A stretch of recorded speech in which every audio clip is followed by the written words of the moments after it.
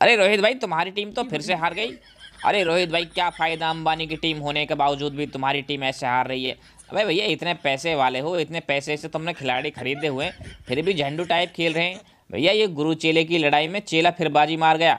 और मुझे तो लग रहा है पांड्या भाई अब चेला नहीं, गुरु बन गए हैं। देखो भैया, इसने सब टीमों को हरा दिया है और अभी जिस हिसाब से इसकी टीम खेल रही, मुझे तो लग रहा है अब की बार भी आईपीएल ये जीतने वाले हैं। अरे शर्मा जी, तुम्हारी टीम तो कुछ ज़्यादा ही झंडू बन गई है दो सालों से। अरे कोहली यार, याद ना दिलाओ हमें, तुम यार और जले पे नमक छिड़क रहे हो।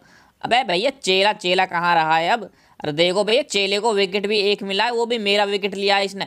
अब बताओ क्या करें, हमारा तो दिमाग खराब हो गया है। और हमारे तो सारे खिलाड़ी भैया, सूर्या, ईशान, किशन, मेरा खुद का बल्ला। पता ना भैया, बल्ला कहाँ रहा है? हमारा तो एकदम छोटा बन गया। मतलब बॉल बल्ले पे आती ही नहीं है, क्या ही करें?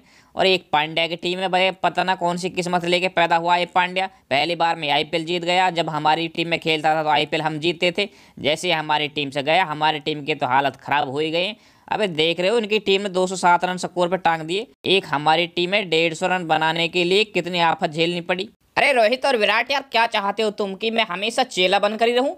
अरे ऐसा कभी हुआ है कि कहीं चेला, हमेशा चेला बनकर रहा हो? अरे भाई, कभी तो उसको गुरु बनना ही पड़ेगा। अब चलो, हम गुरु तो नहीं बने हैं, लेकिन तुम लोगों की मैं इज़्ज़त करता हूँ। अब अब यार, तुम्हारी टीम एकदम झंडू खेलती है, हमारी टीम के सामने देखो, हमारे पास भाई सटार सटार खिलाड़ी हैं।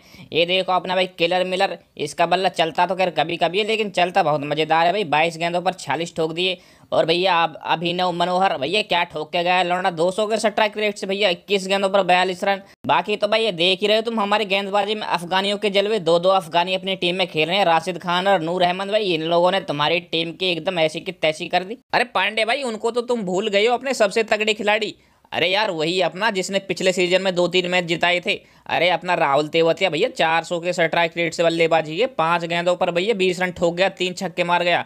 यार, तुम ऐसे खिलाड़ियों को ना भूलो। और वैसे हमारा नंबर भी नहीं आया बल्लेबाजी में, बस एक ही गेंद खेलने को मिली। वरना छक्का तो हम भी बहुत लाजवाब देते हैं भैया, सबको एकदम धूल चटा देते हैं। अच्छे अच्छे गेंदबाज हमारे सामने भैया, पानी भरते हैं। बल्लेबाजों को तो खैर हम पानी भरवाई देते हैं। अरे, हार्दिक पांड्या भैया, मेरी बल्लेबाजी कैसी लगी ये बताओ तुम।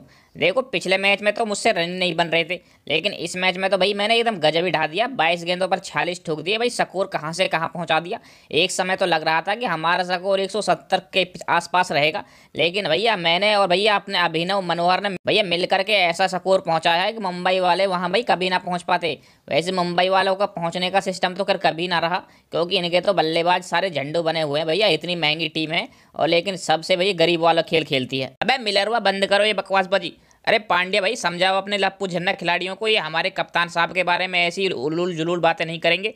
अबे भैया, वो अंबानी की टीम है, एक करोड़ रुपए की चाय पीता है अंबानी। तुम्हें पता नहीं है, ईशान किशन और कैमरून ग्रीन कोई मिल करके इतने रुपए में खरीदा है? इतने रुपए में एक अलग से टीम बन जाती।